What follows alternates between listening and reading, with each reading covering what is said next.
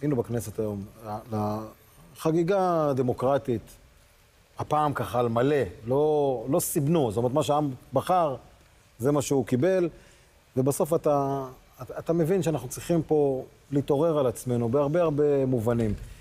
ואני אגיד לך מה, מה באמת אה, מעצבן. לפני כשלוש, ארבע שעות היינו בכנסת, ואז קיבלנו את ההודעה אה, שנתניהו נועד עכשיו עם סמוטריץ', ובכוונתם להתקדם ולהראות את כל הדברים האלה, אה, אולי אפשר אפילו לראות תמונה, או אה, מה שהיה שם.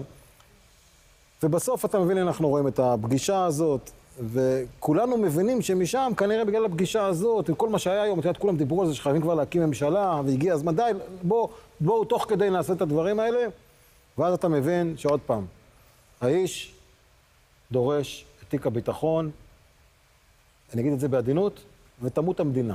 אתה חושב? כן. די. מה, אתה חושב שהוא יתעקש על זה כמו שהוא יתעקש על מנסור עבאס? באותה רמה? זה, זה level אחר לגמרי, זה משהו אחר לגמרי, כי, כי פה העניין הוא, על, על מנסור עבאס זה היה, כי, כי סמוטריץ' אדם חכם והוא יודע שהממשלה הזאת לא תחזיק הרבה זמן, ומילא אין טעם לעשות את זה, ואני אה, אה, יוביל את הימינה, את הציונות הדתית, אחר כך יש לו את העניינים שלו. סמוטריץ' חושב על סמוטריץ', לפני שהוא חושב על כל דבר אחר, תמיד זה היה ככה. ההתנהגות היום היא אתה התנהגות חושב, של. נפתלי בנט. לא, אני, אני אגיד לך, התנהגות של נפתלי בנט. בוא, בוא, בואי נשים קודם כל את הדברים על השולחן. קודם כל, מי אתה שאתה צריך להיות שר הביטחון? מה יש לך בביטחון? מה יש לך בביטחון? מה, מה הסיפור? הרי הוא רוצה לקדם את עצמו, הוא רוצה להשתלט על הציונות הדתית, ומשם עוד יותר הלאה להמריא.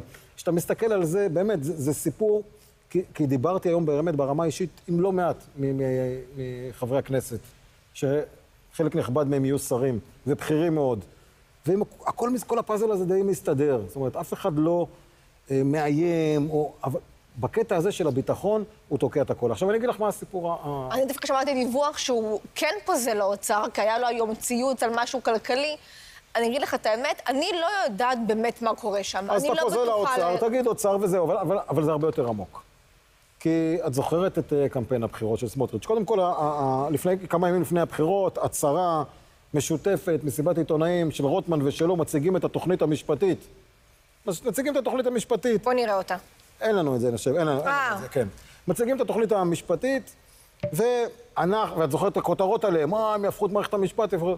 אז איפה סמוטריץ' עם תיק המשפטים? אם אתה, אם זה הטייטל שלך, שאיתו הלכת לבחירות, למה אתה לא רוצה ולא נאבק על תיק המשפטים? אני גם שואל את נתניהו, למה אתה לא נותן לו את תיק המשפטים? הרי בממשלת נתניהו, עד היום לא נגעו במשפטים, לא עשו שום דבר, והנה בא אחד שהבטיח ובא עם הבטחת ליבה, מה שקוראים, זה הסטייל החדש הזה, הבטחה ליבתית, כן? הוא בא עם זה, תטפל בזה. ועוד דבר, רק עוד משפט אחד, עוד כן. משפט אחד. זה אותו סמוטריץ' שקמפיין הבחירות שלו היה, מה שאנחנו אומרים זה מה שתקבלו, מה שאתם רואים זה מה שתקבלו. אז לא מקבלים לא את זה ולא את זה. הוא לא דיבר על ביטחון לפני זה, הוא דיבר על משפטים ומשפטים ומשפטים.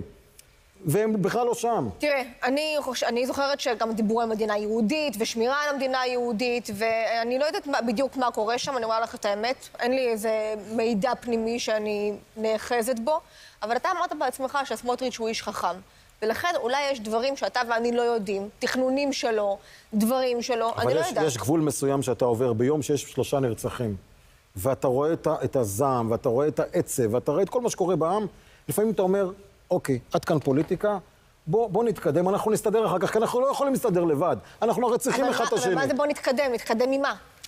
תקימו, ת, ת, תרוצו, שנתניהו מצידי יחזיק את הביטחון עכשיו, ובעוד שבוע, שבועיים, חודש יתחילו לסגור את הדברים האלה. אבל זה לא עובד ככה. הרי במילא נתניהו בסופו של דבר יהיה זה שיטפל, בתיק- יחזיק את תיק הביטחון, גם אם יהיה מישהו אחר בפנים. נתניהו. עם הראייה הביטחונית, נתניהו יודע יותר טוב אז למה מכולם שם. נתניהו לא נותן לו אגב, את זה? כולל לפיד ובנט, אז מה למה קורה? נתניהו לא נותן לו את זה? הרי תפ... תפקיד שר לא הביטחון יהיה קשה מאוד כי הוא לסמוטריץ'. לא צריך להיות שר הביטחון, נקודה. מי כן צריך להיות? יש גלנט, יש דיכטר, יש אחרים שאת יודעת, מדברים על התיק הזה כבר שנים, פתאום, out of the blue, מגיע אה, סמוטריץ' ורוצה את תיק הביטחון. אני אגב, אני אגב, יכול להיות שגם בביטחון הוא היה- יכול להצליח, כן? סמוטריץ' הוא, הוא כישרוני במשרד התחבורה, הוא היה אלוף. אני אני אגב לא... האלה, אבל הבטחת למצביעים שלך, אגב, סמוטריץ' אבל ולא בן גביר לא לא עובר את אחוז החסימה. גם אם היום הוא לא ילך לבחירות, הוא לא עובר את אחוז אבל החסימה. בועז, סמוטריץ' לא יכול ללכת למשפטים כשיש לך שם את יריב לוין. יריב לוין הוא האיש למשרד המשפטים. זה דבר אז אחד. לפי מה ששמעתי היום, יריב לוין לא כזה... אני לא יודעת. כבר להוט. ודבר שני, מי אמר שאנשים שיגיעו מתוך המערכת, הם צריכים להיות אחראים על המערכת? את יודעת, ראינו- כל האנשים האחרונים שבאו ממשרד הביטחון, ראינו שהם לא היו, בתפ... לא, לא היו טובים בתפקיד. הגיע הזמן אולי לשר לא ביטחון. טובים, אז אולי- אז אולי הגיע הזמן לשר ביטחון שלא מגיע מתוך המערכת, תראי- שינער אותה קצת, שיעשה שם מהפכה. אה, תראי, בשורה התחתונה, אתה מצפה ממישהו שה- שרץ על הטייטל שלו, תעשה מה שהבטחת.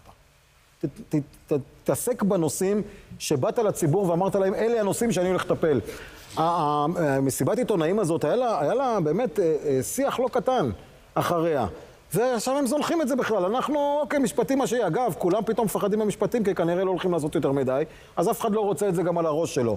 וזה צריך להדאיג, הסיפור הזה צריך להדאיג. אגב, אני רק מזכיר לך כאן סקר שהצגנו בשבוע שעבר, ש- מעל- כ- כשלושת אלפים מצביעים, אם את זוכרת. אה, זה היה דיכטר, מקום ראשון, גלנט, וסמוטריץ' היה הרחק אחרון. זאת אומרת, הציבור, אם את שואלת אותו, לא חושב שסמוטריץ' צריך להיות בעניין הזה. ואם נתניהו לא חושב, ונתניהו מנהל את המערכת הזאת, וללא נתניהו לא היה כאן 64 מנדטים, צריך לומר תראה, את אבל האמת, אז לא- סמוטריץ' לא צריך להיות אבל- שר אבל הביטחון. לא כל הציבור גם שש שדרעי יהיה שר- שר אוצר. לא תמיד עושים הכל לפי רחשי הציבור. אבל גם עם זה אני מסכים איתך, אבל כרגע לפחות מה שתוקע את העגלה הזאת שרוצים שהיא תתחיל לרוץ, זה סמוטריץ' עם הביטחון, זה הסיפור. טוב.